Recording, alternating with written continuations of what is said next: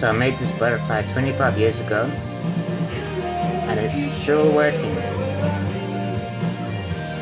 It works on um, some nitinol wire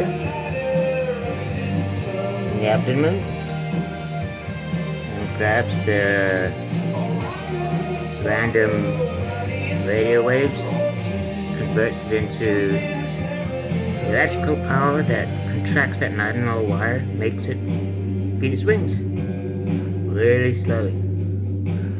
Had it for 20, 20 years actually. It's still going. Wow.